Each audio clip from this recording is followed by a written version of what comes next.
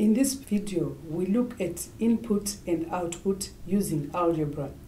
If you haven't watched the video on algebra expressions, we suggest you do so by clicking the link provided. This video is made by MediaWorks, South Africa's foremost provider of adult education. Visit www.mediaworks.co.za for more information on our computer assisted and face to face learning programs. Here we use algebra to find missing variable in input and output scenario.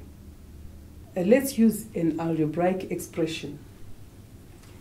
Let's take, for instance, the input is n. Then it is multiplied by 6 and we subtract 10. Our input we were given as 38. So we are going to multiply n by 6. We get 6n minus 10, which is equal to 38.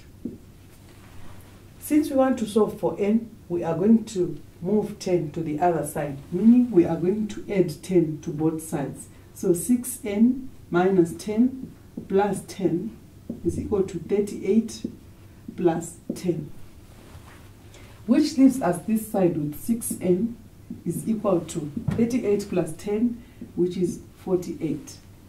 Solving for n, we are going to divide both sides by 6.